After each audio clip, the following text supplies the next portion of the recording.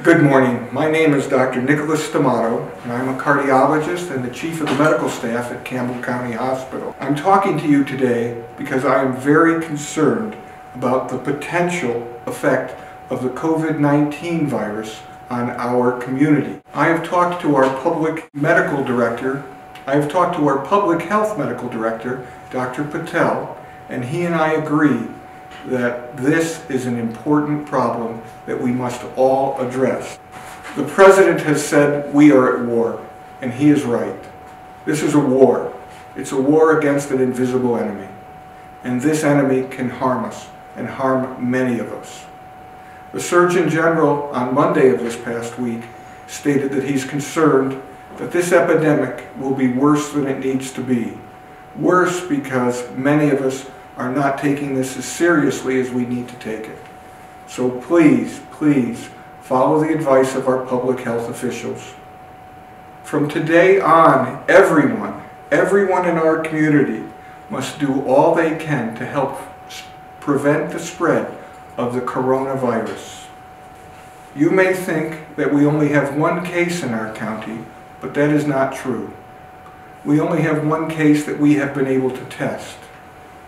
The experts tell us that we probably have hundreds, if not thousands of people already infected by this virus in our county, and that this will continue to grow on a daily basis.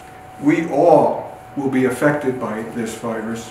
Each and every one of us will either become ill ourselves or know someone as a close friend or family member who becomes infected.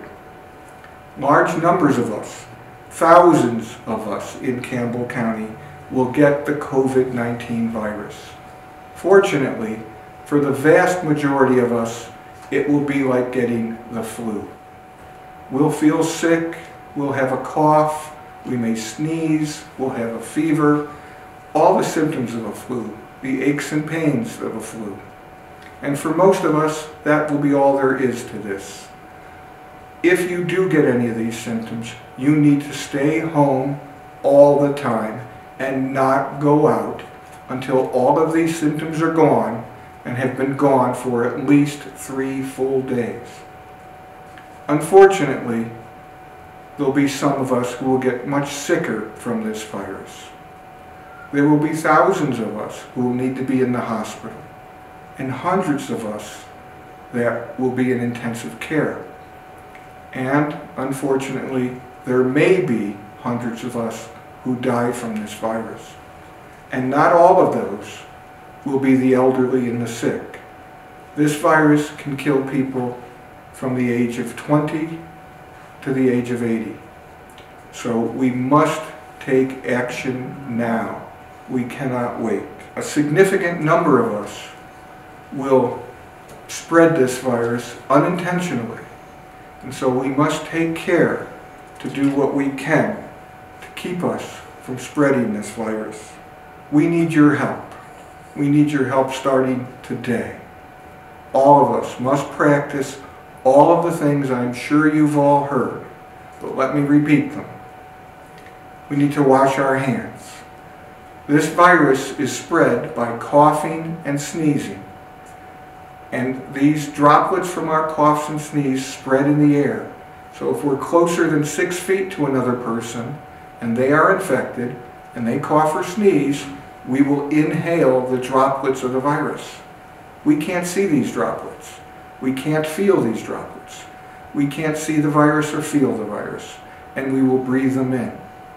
If someone coughs or sneezes on a surface and we touch that surface with our hand, and then put our hand to our face, our mouth, our eyes, that virus will get into our body and will become infected. The virus can live for hours and hours on a surface, and in some conditions it actually can live days. Therefore, we have to clean our surfaces regularly, particularly surfaces in public places, keyboards, your computer mouse, your iPhone, your cell phone. Those things all have to be cleaned regularly. Countertops need to be cleaned regularly. We also need to be sure that when we sneeze or cough, we use a napkin or a Kleenex Use it once and throw it away. We cannot carry a Kleenex with us all day and use it over and over. That will just reinfect us over and over with the virus. We need to be sure that when we cough, we try to control our cough. Cough into your elbow. Don't cough into the air. That'll just spread the virus around you. We need to stay home most of all. If you're sick, please do not go out. You may not feel terribly sick, but if you have any of these symptoms, you really do need to stay home until you're completely better and have been completely better for three full days because you still spread the virus for up to three days after you're better. If you're not sick, you need to stay home as much as possible. Plan your trips out of your home and plan them so you make as few as possible. Make a grocery list like my mother used to make of what every meal is going to be for the rest of that week. Write down what you're going to have for dinner every night. And if you get to the grocery store and they don't have what you were planning, buy something else. When you go out to the grocery store, fill your car with gas. Don't make two trips when you can do it all in one.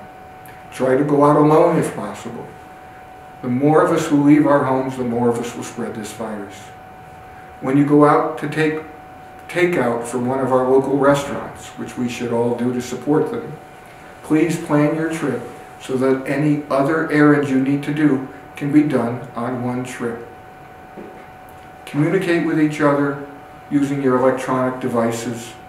Try not to get together if you can. What happens in the next few months in our community is in our hands. We are blessed by the fact that we have a little extra time than they do in New York, California, and Washington to plan for this. What happens is literally in your hands. Thank you.